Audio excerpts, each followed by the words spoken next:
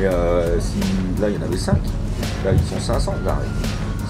Et après le deuxième tour, tout le monde va se barrer, ils sont trempés, tous les mecs sont trempés, trempés. Euh, personne va attendre 4 heures jusqu'à jusqu 22 heures. Hein. Donc ils vont tous partir et c'est le gros bordel.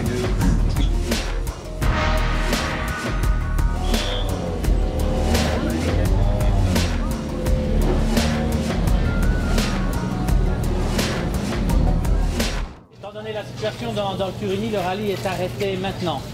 Donc le classement est figé maintenant, donc ça veut dire qu'on fait 4 voitures dans les 5 premiers, qu'on gagne, qu'on fait 3 et 4 Voilà, félicitations. euh, c'est sûr c'était un rallye très très piégeux, très difficile. Euh, on a eu toutes les conditions possibles. Euh, on n'a jamais roulé en slick, donc c'est quand même rare. Je pense que ça m'est jamais arrivé de faire un Monte Carlo sans jamais mettre les slicks. Et donc ça, prouve que c'était très compliqué. toujours en clou. des belles spéciales enneigées, des spéciales très piégeuses comme ce soir dans le Turini où il y avait de la soupe en fait et ce qui fait que on n'arrive pas à contrôler la voiture. Donc euh, il y, a eu vraiment tout, il fallait rester sur la route, on a réussi à le faire, donc euh, c'est bien. Félicitations, je suis super content pour toi parce que c'est fantastique de gagner ce rallye.